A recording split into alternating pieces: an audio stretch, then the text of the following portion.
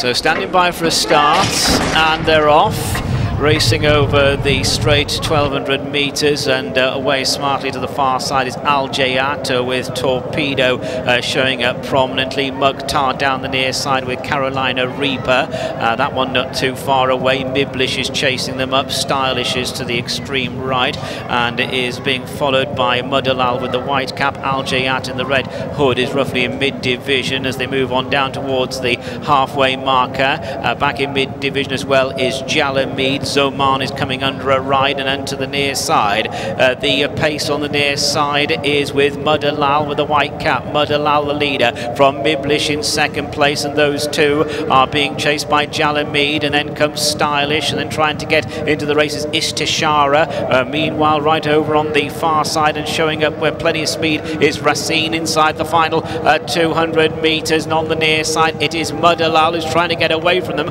and does get away from them from Miblish and stylish. And there's a big race on for the places. One who is staying on for places now is Torpedo, but the race is all over. The bird has flown, and this is Mudalal impressively. Mudalal, the winner. Second place goes to Torpedo. Third is Jalameed, followed in then by Stylish, and then best of the rest, Midley.